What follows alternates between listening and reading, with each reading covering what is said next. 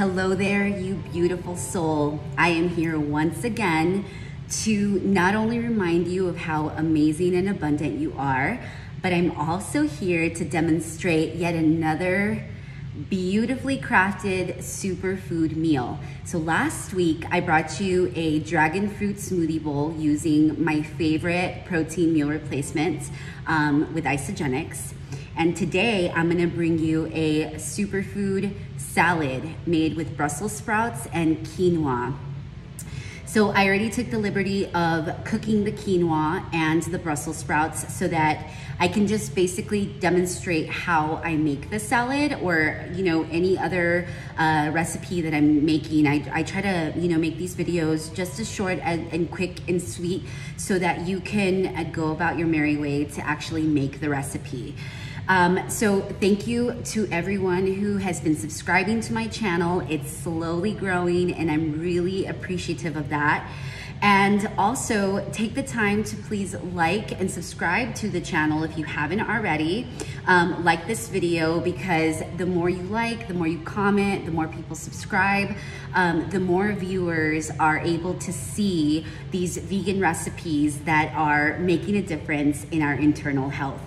So I'm gonna, um, I kind of chopped everything up already and I'm going to demonstrate how I'm gonna make the dressing, but right now I'm going to pour this, uh, the quinoa. So I use TruRoots, this um, quinoa blend and um, just it's pretty easy to cook so you just follow the recipe or the instructions on the packet um, you don't necessarily have to use this specific blend you can use any form of quinoa um, but I like the fact that this one has the white, the red, and the black quinoa, and it's a sprouted blend, so it's it's just really good, um, you know, for the digestive health. Um, quinoa I love because it is an easy grain for us to digest. It's really good um, filled with fiber and good source of protein. Um, so what I did with these Brussels sprouts is I actually baked them. So um, they're a little bit crispy. And what I did was I drizzled some um, maple syrup. You can do as much as you want. You don't have to if you don't want to. Um, but I like my Brussels sprouts a little bit sweet. So I, I just drizzled a little bit of maple syrup and I um, topped it with some almonds, some chopped almonds and I just mixed it up, put a little bit of sea salt, and then roasted them for about 15 minutes in um, in the oven at about 395 degrees to 400. It's really up to you. Uh, I just like my Brussels sprouts a little bit crispy, so that's why I left them in there a little bit longer. So um, I chopped up, up some red bell peppers. Um, so you can use a very small red pepper. Um, I love shallot. That is my onion of choice. I love shallots. They're very similar to like a purple onion. Um, if you don't know what a shallot looks like, this is what it looks like here. So I just chop it up really nice and fine. Um, you don't have to use a jalapeno. I'm Mexican, so I tend to be drawn more to like spicier food. Um, with the jalapenos, if you do decide to use it, you can take out the seeds and so it's not gonna be as spicy. Um, so you just mix this in here and then I'm gonna be making like a citrus, like an orange um, vinaigrette that is so delicious with this combination. I'm a big fan of like sweet and salty. And also, I'm a big fan of citruses. Um, so citrus is gonna be really good for your gut health, especially oranges. And so I'm gonna make my fresh dressing with one squeezed orange. So I'm gonna go ahead and squeeze this in here. If you don't have a juicer or you know something like this, you can just squeeze it um, into a bowl or whatever. So I really like these just because it takes out the pulp. And squeeze this in here.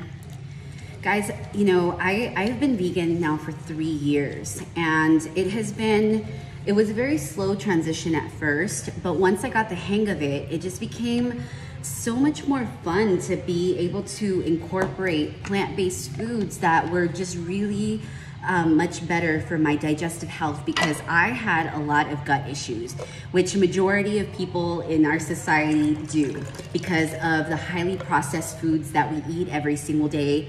And so Granted, with um, with plant-based cooking, especially if you are cooking at home, you definitely need to be a little bit more prepared. So like I love to chop my own veggies and I love to prepare just because I like to infuse love into my food and food is a very sacred it's very sacred. So you wanna make sure that when you are cooking food, you're cooking food in a very good mood, that you're joyful, that you're energized, and even when you're going to places to eat, that you pay attention to the environment because some of these environments, especially in fast food restaurants, not the not the cleanest you know people are not really they don't want to be there right?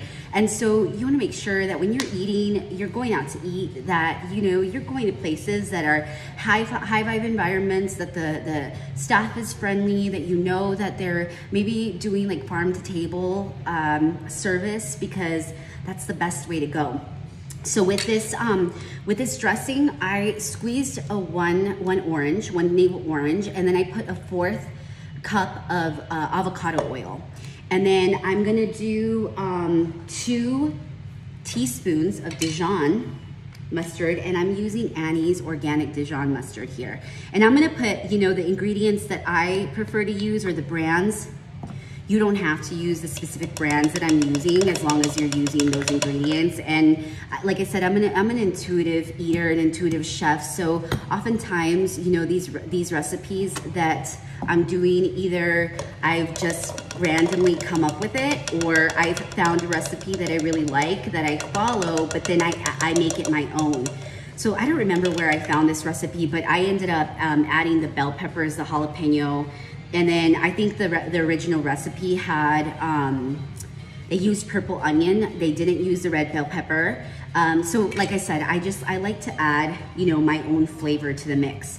And so you're gonna do two teaspoons of the Dijon mustard and then you're gonna do um, two tablespoons of apple cider vinegar. So I'm using this organic, raw, unfiltered apple cider vinegar. So then you just two in there. Yeah, guys, I mean, I take my food real serious just because I've had so many health issues over my life that now that I finally figured out what works for me, you know, I wanna make sure that I'm putting the best food ingredients into my body as possible because you know what? Our body is our temple. It is a living temple and it has the ability to regenerate itself when you're giving it what it needs. So just mix this up in there. Mmm, oh, it smells so good. And then I'm gonna save the avocado for last. So you just pour it in, your salad here. And then pour the avocado. And you can, I'm gonna do, um, I'm gonna do pomegranates, but you can do like dried cranberries, you can do like dried apricots, pretty much any uh, dried fruit that you wanna use. You don't have to. Like I said, this is really just like a base for you to kind of go off of and then you can add your own veggies or your own idea of what you, what dried fruit you really like. Um, but like I said, I'm a fan of salads and I don't really like bland salads. I like salads with a lot of flavor and crunch. And so you can just add a little bit of pomegranate in there. Oh my gosh, guys, this looks so good.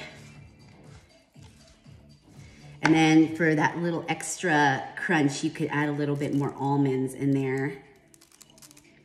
The original ones that I added were already roasted with the, um, with the Brussels sprouts but um, you can add, you know, more of the raw almond if you want. And this could be eaten like, you know, your main dish, or it could be like a side dish for a party or whatever. But look at how colorful and vibrant this looks. Oh my gosh, so good. So excited to try it. Let me grab myself a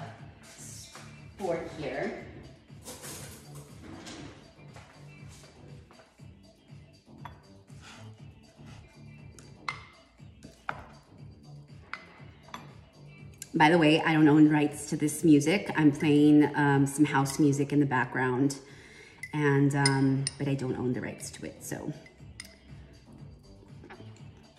Oh my God, so good. And that's it, guys. Super easy and quick. I mean, the thing that's gonna take the longest is cooking the quinoa, which takes about 10 to 15 minutes. And then roasting the Brussels sprouts. Once you have everything already chopped up and everything, it's literally like a five minute process. So there you go. I'm so excited. I hope you enjoy it. Let me know when you try the recipe, comment below, follow me, subscribe, like the video, whatever you have to do. I really appreciate it. And I will see you next week.